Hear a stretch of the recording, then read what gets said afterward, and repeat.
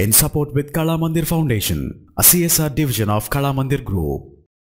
పలు రకాల మూమెంట్స్కి సపోర్ట్ ఇస్తూ ఫేస్బుక్లో ఫ్రేమ్స్ చూస్తూ ఉన్నాం కదా సో ఇలాగ మీరు కూడా సొంతంగా ఏదైనా ఫ్రేమ్ తయారు చేసుకోవాలంటే కనుక developers dot Facebook dot com products frame studio అని ఒక లింక్ను ఓపెన్ చేస్తే ఇక్కడ ఆ లింక్ను ఓపెన్ చేయడం జరిగింది. దీంట్లో క్రియేట్ ఫ్రేమ్ అని చెప్పేసి ఒక ఆప్షన్ ఉంది చూడండి. సో దీన్ని మనం క్లిక్ చేసినట్లయితే వెంటనే స్క్రీన్ మీద ఎలా వస్తుంది? దీంట్లో ఓపెన్ ఫ్రేమ్ స్టూడియో అనే బటన్ని క్లిక్ చేయాల్సి ఉంటుంది. వన్స్ క్లిక్ చేసిన తర్వాత ఒక క్యాన్వాస్ లాగా వచ్చింది. సో దీంట్లో మనకు కావాల్సిన ఫ్రేమ్ని తయారు చేసుకోవచ్చు. ఫస్ట్ ఆఫ్ ఆల్ మన దగ్గర థీమ్కి తగ్గట్టుగా ఒక పిఎన్జీ ఇమేజ్ని ఇక్కడ ప్లేస్ చేయాల్సి ఉంటుంది? ఉదాహరణకి ఫోటోషాప్ కావచ్చు రకరకాల టూల్స్లో మీకు కావాల్సిన విధంగా ఒక పిఎన్జీ ఇమేజ్ అనేది తయారు చేసేసుకొని దాన్ని అంటే మీ థీమ్కి తగ్గట్టుగా తయారు చేసుకున్న తర్వాత ఇక్కడ అప్లోడ్ ఆర్ట్ అని చెప్పేసి ఉంది చూసారా?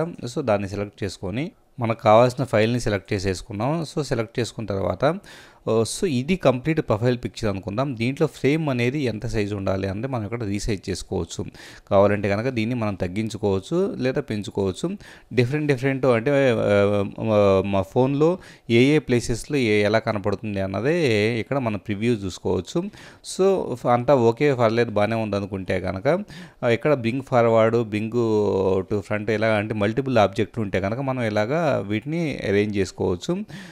కావాలంటే డూప్లికేట్ కావాలంటే డూప్లికేట్ అనే దాన్ని మనం చేస్తున్నాం అంటే కనుక ఆ ఇమేజ్ డూప్లికేట్కి వస్తుంది డిలీట్ అంటే కనుక డిలీట్ అవుతుంది.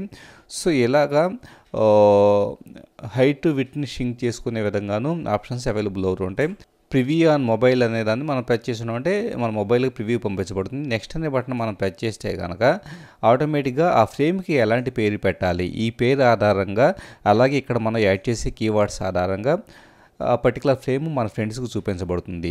ఇక్కడ షెడ్యూల్ అంటే కనుక ఎప్పటికిప్పుడు అది యాక్టివ్గా ఉండాలా లేదా ఒక నిర్దిష్టమైన టైంలో అది యాక్టివ్గా ఉండాలా అన్నది కూడా మనం సెలెక్ట్ చేసేసుకోవచ్చు. సో ఫైనల్గా నెక్స్ట్ అనే బటన్ మనం ప్రెస్ చేస్తే కనుక ఆటోమేటిక్గా ఆ ఫ్రేమ్ అనేది అందుబాటులోకి వచ్చేసేస్తుంది. In support with Kalamandir foundation a CSR division of Kalamandir group